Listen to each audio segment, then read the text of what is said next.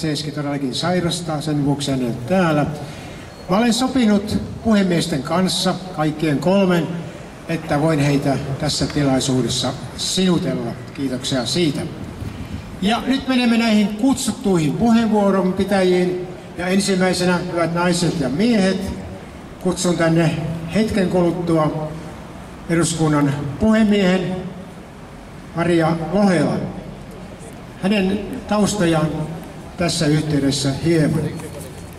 Eduskunnan puhemies Maria Lohela on toisen kauden kansanedustaja Varsinais-Suomen vaalipiiristä ja asustelee Turussa.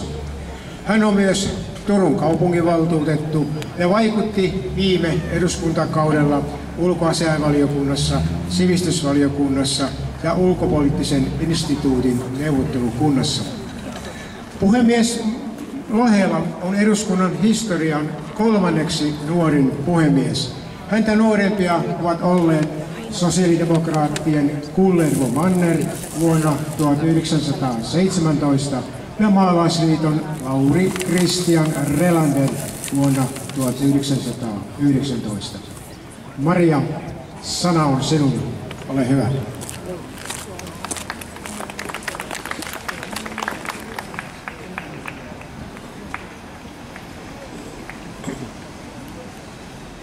Hyvää päivää Jyväskyläläiset.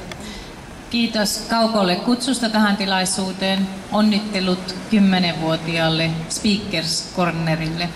Sen verran täsmennän tuota Kaukon esittelypuheenvuoroa kuitenkin, että tällä hetkellä en istu Turun kaupunginvaltuustossa. Olin siellä edellisellä kaudella, mutta näiden, erityisesti näiden puhemiehen kiireiden vuoksi olen ihan tyytyväinen, että en siellä valtuustossa enää ole, koska sekin on äärimmäisen tärkeää työtä, vaatii aikaa ja paneutumista ja tällä hetkellä sitä on entistä rajallisemmin minullakin. Luulen, että kun minut perussuomalaisten eduskuntaryhmä asetti ehdokkaakseen eduskunnan puhemieheksi toukokuun lopussa, niin aika moni kysyi, että kukas ihme on tämä Maria Lohela, en ole ikinä hänestä kuullutkaan. Luulen, että eduskunnassa oli jonkun verran näitä uusia kansanedustajiakin, jotka eivät, eivät tienneet, ja, ja vanhojakin, joiden kanssa ei oltu ehditty siinä työnlomassa vielä edellisellä kaudella tutustua. Uskon kuitenkin ja pidän erittäin tärkeänä sitä, että ihmiset ovat vuorovaikutuksessa keskenään.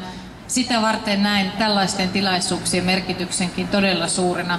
Täällä vähän kuullaan toisiamme, nähdään toisiamme ja opitaan sitä kautta tuntemaan toisiamme. Vaalien jälkeen Suomihan meni aika lailla uuteen asentoon. Entisistä ministereistä tuli kansanedustajia ja entisistä oppositiokansanedustajista tuli ministereitä. Roolit vaihtui, tehtävät vaihtui ja se oli varmasti monelle hyvin, hyvin hankalaa ja siihen sopeutuminen otti aikansa. Tämä sopeutuminen näkyi minun mielestäni tuolla eduskunnassa silloin kesäkuun alussa vähän semmoisena levottomana ja, levottomuutena ja kireytenä, eikä oikein tiedetty, että miten päin oltaisiin ja haettiin sitä profiloitumista nyt näiden uusien roolien kautta. Mutta sitten ja erityisesti nyt tämä yhden takana olevan syysistuntokauden viikon jälkeen, niin minusta tuntuu, että ollaan menossa hyvään suuntaan. Haluan omalla esimerkilläni, paitsi että tuolla eduskunnan puhemiehenä haluan äh, huolehtia siitä, että tämän erittäin tärkeän demokratian äh, kulmakiven äh, arvokkaita perinteitä noudatetaan, ylläpidetään ja vaalitaan. Ja haluan tuoda siihen myös totta kai puhemiehen tehtävään oma persoonani mukaan. Mä haluan tuoda tuonne eduskuntaa enemmän semmoista toisten ihmisten kohtaamista, silmiin katsomista, vuorovaikutusta ja iloa, kunnioitusta toisiamme kohtaan.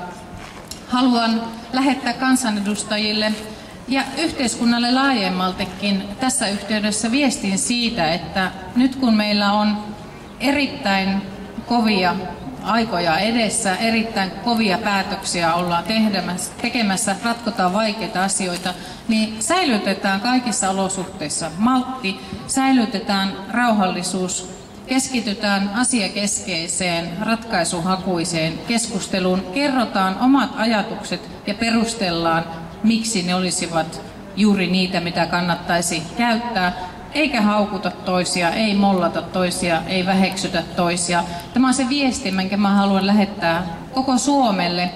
Ja tuolla eduskunnassa totta kai jokainen kansanedustaja vastaa itse itsestään, mutta puhemiehet ovat siellä, tai puhemiehistö on siellä takana kuitenkin varmistamassa ja huolehtimassa siitä, että sopivia rajoja, sopivuuden rajoja ei sitten keskustelussa ylitetä.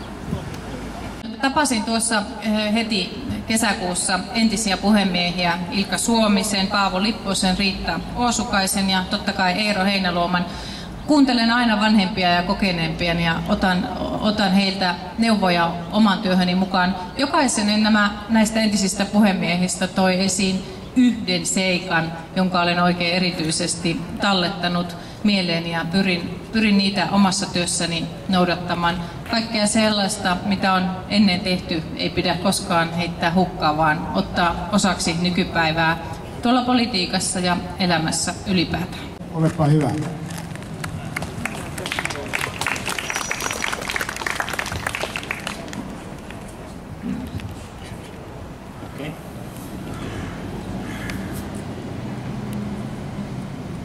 Joo, arvoisa yleisö ja hyvät kuuntelijat. Toimiva kansanvalta edellyttää sitä, että kansan valitsemat ovat kansan keskellä, kuuntelemassa mitä kansalla on sanottavaa, kertomassa siitä mitä päättäjinä aikovat ja kertomassa sen jälkeen kun päätökset ovat tehneet, miten, millä perusteilla ja arviolta minkälaisin seuraamuksin nuo päätökset on tehty.